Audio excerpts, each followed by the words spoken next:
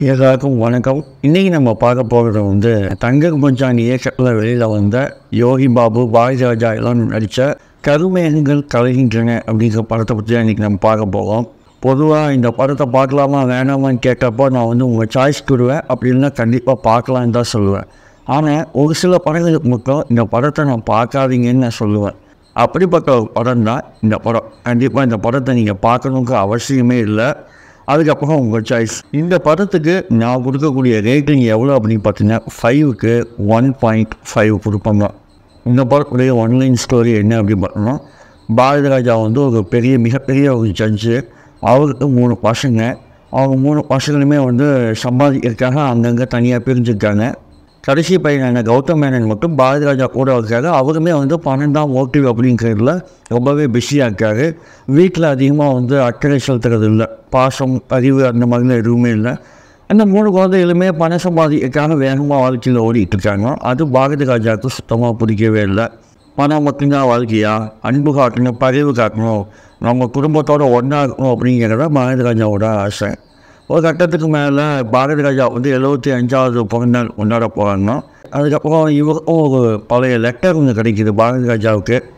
அந்த லெட்டரை தூக்கிட்டு வீட்டிலேருந்து கிளம்பி போயிடுறாரு. அந்த லெட்டரில் என்ன அப்படி பார்த்தீங்கன்னா தன்னுடைய பழைய காதலி வந்து ஒரு பதிமூணு வருஷத்துக்கு முன்னாடி எழுதின லெட்டர் அது இப்போ தான் அவர் கைக்கு வந்து கிடைக்குது. நம்ம வந்து ஒரு பொண்ணு இருக்கு. நம்ம பொண்ணு வந்து இப்போ ஜெயிலில் இருக்கா. அவளை எப்படியா நீங்கள் போய் பார்த்துட்டு காப்பாற்றுங்க அப்படிங்கிற மாதிரி ஒரு லெட்டர் வருது. அதை நோக்கி அவர் போகிறாரு போகிறப்போ வந்து நிறைய விஷயங்கள் நடக்குது. யோகி பாபு சந்திக்கிறாங்க யோகி பாபுக்கு விஷயங்கள் நடக்குது. அதுக்கப்புறம் வந்து இந்த யோகி பாபு பாரதி ராஜா அதுக்கப்புறம் அதிதி இவங்க எல்லாம் ஒரு போக்கில் எப்படி இணையிறாங்க அப்படிங்கிறது தான் மீதி கதை. அதாவது தங்க பஜான் தன்னுடைய அரை வேக்காட்டுத்தனத்தை அப்படியே அப்பட்டமாக காமிச்சிருக்காரு இந்த படத்தில். இந்த படம் ஏன் நான் அரை வேக்காட்டுத்தனம் அப்படின்னு நான் சொல்கிறேன் அப்படின்னா பாரதி ராஜா ஒரு மிகப்பெரிய ஜட்ஜு அவர் வாழ்க்கையில் வந்து சமூக அங்கீகாரத்தில் ரொம்ப பெரிய இடத்துல இருக்காரு. அவர் வாழ்க்கையில் இருக்கக்கூடிய ஒரு சிக்கலின் காரணமாக சாமானிய மக்களோட பயணிக்க வேண்டிய நிர்பந்தம் ஏற்படுது. அப்படி பயணிக்கும் போது பாரதி ராஜா வந்து எளிய மக்களோட பழகும்போது என்னென்ன சிக்கல்கள் இருக்குது அப்படின்னு காமிக்கிறதுக்காக பாரதி ராஜா வந்து ரொம்ப புனிதமாகவும் எளிய மக்களை ரொம்ப கொச்சப்படுத்துகிற மாதிரி காமிக்கிற சீன்ஸ் எல்லாம் இருக்கு இல்லைங்களா?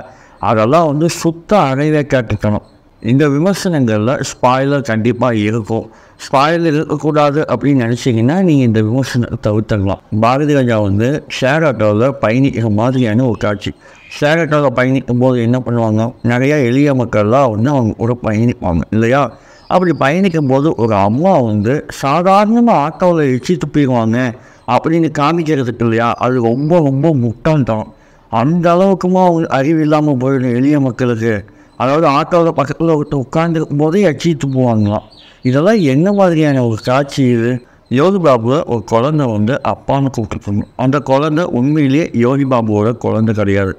அது ஒரு ஃப்ளாஷ்பேக் ஸ்டோரி ஒன்று இருக்கும். அதில் என்ன அப்படி பார்த்தோம்னா கும்பகோணத்துக்கு ஒரு ஒன்று வந்து வேலைக்காக வந்திருப்பாங்க வேலைக்காக வந்திருக்கும்போது அந்த வேலைக்கு வான்னு சொன்ன ஒரு ஆள் வந்து தன்னுடைய லவ்வர் வந்து கை விற்குவான் வரமாட்டான் ஏமாற்றிடுவான் அதனால் அந்த பொண்ணு ரோட்லேயே இருக்கும். அவங்களுக்கு கரிசனம் காட்ட போய் யோகி பாபுன்னு ஒரு இடத்துல வேலைக்கு சேர்த்து விடுவாங்க அந்த இடத்துலயே அந்த பொண்ணுக்கு ஒரு பிரச்சனை வரும். அதனால் என்ன பண்ணுவாங்க அந்த வேலையிலேருந்து திருப்பி கூட்டிகிட்டு வந்து யோகி பாபு தன் கூடயே தன் வீட்டிலேயே வந்து தங்க வச்சுருப்பார். அப்போ என்ன ஆகும் அப்படின்னு பார்த்தீங்கன்னா தன்னுடைய பழைய காதலனால இவங்க வந்து வயிற்றில் வந்து கரு அந்த கரு வந்து தன்னுடைய காதலனே அவன் கூட இல்லையே. அப்போ இந்த குழந்தைய மட்டும் நம்ம எப்படி தனியாக வச்சு வளர்த்த முடியும்? அதனால் நம்ம அபாஷன் பண்ணிக்கலாம் அப்படிங்கிற ஒரு முடிவுக்கு அந்த பொண்ணு வந்தோம். அந்த பொண்ணை யோகி பாபு அப்படிங்கிற ஒரு கேரக்டர் போய் என்ன பண்ணணும் தெரியுங்களா? நீ வந்து குழந்தைய வந்து கரைக்கவலாம் கூடாது. குழந்தை வந்து கடவுள் கொடுத்தது. நீ வந்து கருக்கலைப்பெல்லாம் செய்யக்கூடாது அப்படிங்கிற மாதிரி ஆண் அப்படிங்கிற ஒரு காரணத்துக்காகவே பெண்ணின் மீதான கற்பு சம்பந்தமான விஷயங்களில் அதிகார மையப்படுத்துகிற காட்சி வச்சுருப்பாரு. இது முழுக்க முழுக்க அரைவே காட்டுத்தனமான ஒரு விஷயம் இது இந்த குழந்தைய எனக்கு வேணுமா வேணாமா அப்படிங்கிற நூறு சதவீத முடிவை எடுக்கக்கூடிய உரிமை அந்த பெண் மட்டும்தான் இருக்குது அதை போய் அதுவும் இந்த படத்தில் யோகி பாபுக்கும் அந்த பொண்ணுக்கு எந்தவித சம்மந்தமே இல்லை. வேலை வாங்கி தரக்கூடிய ஒரு ஹோட்டலில் வேலை செஞ்சுட்டு இருக்கக்கூடிய மூணாவது மனுஷன் தான் யோகி பாபு. அவன் வந்து அந்த கேரக்டர் வந்து இந்த பொண்ணை நிர்பந்தப்படுத்துது. நீ வந்து கண்டிப்பாக புள்ள பெற்றே ஆகணும். குழந்தைங்கிறது என்ன தெரியுமா? தாய்ங்கிறது என்ன தெரியுமா? அப்படிங்கிற வசனமெல்லாம் பேசி அரைவேக்காட்டுத்தனமான பேசி அந்த பொண்ணை வந்து புள்ள பெற்றுக்க வச்சுக்கணும் இது என்ன மாதிரியான ஒரு காட்சி இது? ஆ? ஆயிரத்தி தொள்ளாயிரத்தி எழுபதுகளில் வர வேண்டிய ஒரு காட்சியை அப்போ வந்தாலுமே இது தப்பு தான் இப்போ ரெண்டாயிரத்தி இருபத்தி மூணில் வந்து குழந்தை பெற்றுக்கிறது வந்து எவ்வளோ பெரிய புனிதம் தெரியுமா? அப்படிங்கிற மாதிரி பிற்போக்குத்தனமான விஷயங்களை பேசுறதுக்கு இல்லைங்களா? தயவு செய்து படம் எடுப்பதற்கு முன்னாடி ஒரு சீன் எடுங்க அப்படின்னா அந்த சீனை கொஞ்சமாவது ரிசர்ச் பண்ணுங்க. இது பிற்போக்குத்தனமாக இருக்கா? இல்லை இது மாடர்ன் தாட்டா அப்படிங்கிற விஷயத்த நீங்கள் தயவு செய்து ரிசர்ச் பண்ணி பண்ணுங்க. தாய்மைனா புனிதம். பெண்ணை வந்து நாங்கள் வந்து சாமி மாதிரி பார்க்குறோம். இந்த மாதிரி யாரும் புனிதத்தன்மையோடைய கருத்துக்களை மனசில் வச்சுட்டு ஒரு பெண்ணின் மீதான அதிகாரத்தை மெல்ல அப்படியே கொண்டு போய் சேர்த்துறதுக்கு இல்லைங்களா? அது மிக மிக அரைவேக்காட்டுத்தனம் பிற்போக்குத்தனம். அந்த மாதிரியான படங்களை நம்ம கண்டிப்பாக புறக்கணிச்சே ஆகணும். அது இந்த படத்தில் நிறையாவே இருக்குது இந்த படத்தில் காட்சி அமைப்புகளில் நிறையா பிற்போக்குத்தனங்கள் இருக்குது ஸ்க்ரீன் பிளேலேயே நிறைய லேக் இருக்குது அதே சமயத்தில் பேசக்கூடிய வசனங்களில் நிறையா பிழைகள் இருக்குது அதை வகையில் பார்க்கும்போது என் தரப்புலேருந்து இது என்னோட கருத்து மட்டும்தான்.